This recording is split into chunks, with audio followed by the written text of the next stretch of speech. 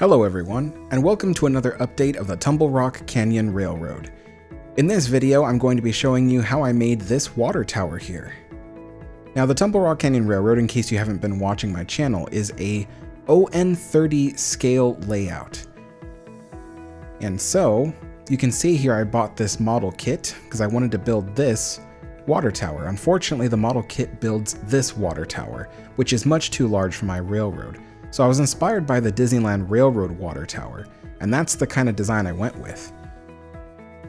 It's been around at Disneyland since 1955 in various different appearances.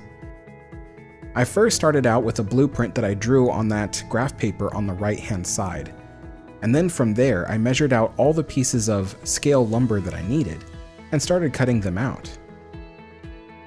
So I did design this thing from scratch, since the model kit does not build the exact size of water tower that I wanted.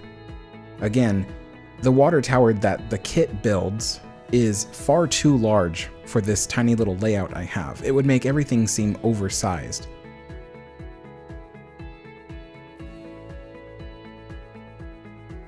Here you can see I am measuring out the pieces of scale lumber and then using my Japanese saws to cut them to the pieces that I need.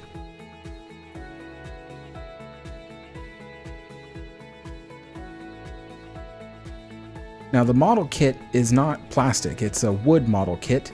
Nothing is pre-measured or cut for you.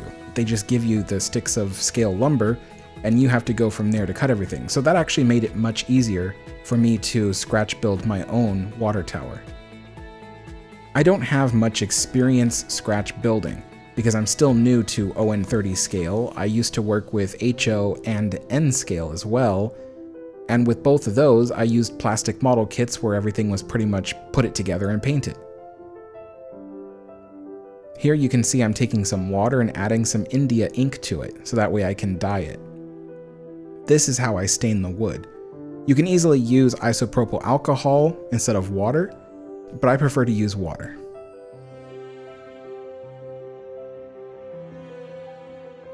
Here I stain all the pieces of lumber and then let them dry. And then I'll go back over them again and dip them again. Some of them I'll even dip a third time. Occasionally I'll leave a piece or two completely undipped to make it look more like it is brand new lumber that is replacing a recently rotted piece that was removed it kind of gives the objects a bit of age. Now you can see I'm using this cardboard dowel. This is the exact diameter I wanted, exactly 3 inches in diameter for the water tower. So I cut it to the length I need for the height of the tower tank. I sand the top smooth to make it as flat as possible. Next, I take a piece of balsa wood and I'm going to draw the diameter onto the balsa wood to create a bottom. I go over it and trace it with a hobby knife, and I have so much difficulty trying to cut it that I eventually just decided to switch to a different method. A friend of mine recommended I just cut all the pieces and cut all the corners until I have roughly the shape of a circle, and then I can sand it smooth from there. I live in a very small apartment, so having all kinds of power tools and all kinds of very specific uh, pieces of equipment uh, is not really feasible for me. Here I stain all the pieces again. What I should have done was just added more ink to the water and made the whole process faster, but hindsight is 2020.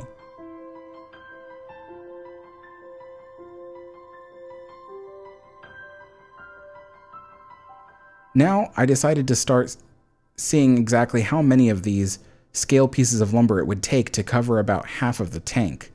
From there I could decide how many scale pieces of lumber I would need to cut out.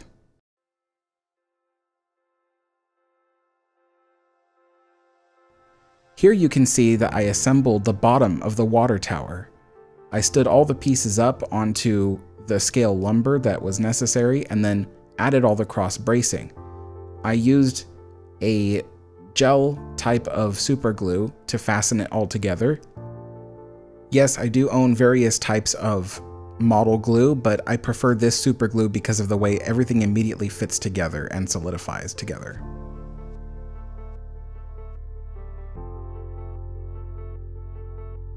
Here you can see I start to assemble the water tower by taking the wood slats and pasting them right on, using the cardboard dowel as kind of the shape maker for this tower tank. I had to carefully place each piece because the glue solidifies so quickly. I didn't want it to solidify the pieces in the wrong shape or the wrong spacing. I also had to vary the pieces back and forth because some pieces are a darker wood color and some are a lighter wood color. But what's really cool about dyeing these pieces of wood with India ink is that they almost kind of appear to have different types of wood grain, as if it's something like quilted maple or walnut. It's very interesting how each piece can look so different. But right now I am assembling the spout frame. This is the frame that holds the spout to the tower. You won't see the entire process because the cameras kept losing battery and each one needed to be recharged.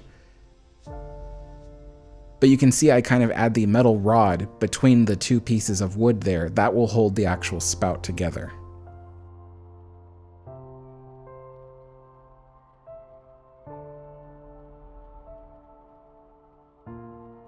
Now I add the pulleys.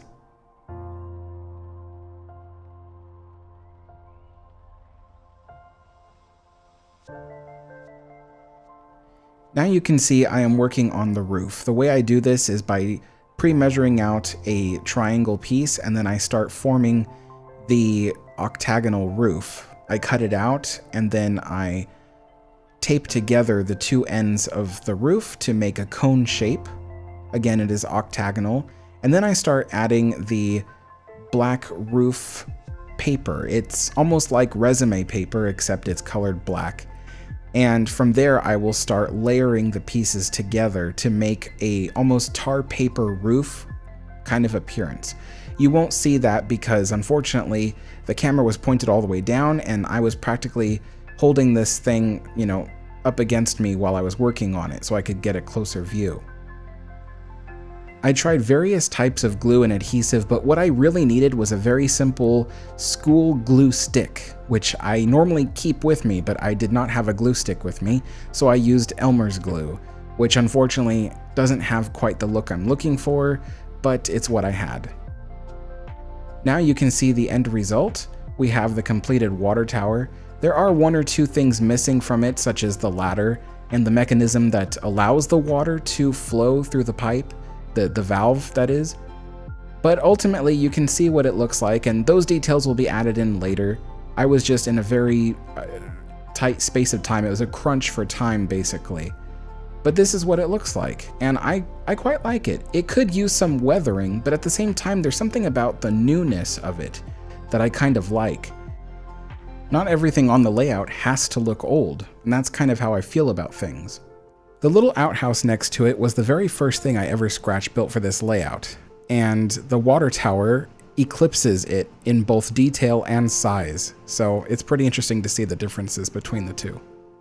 Anyway, folks, I hope you enjoyed this video, and I hope you found it kind of fun and enlightening, and uh, join me next time for the next updates to the railroad layout. See you then. Thank you for watching, everyone. If you enjoyed this video, give it a like and comment below. For more stories on the architecture, engineering, and history of the Steam Age, make sure to subscribe. You can support me by either becoming a Patreon member or channel member, or you can help donate to my transatlantic voyage to the UK. Links and information are in the description below. Thanks again, and I'll see you all next time.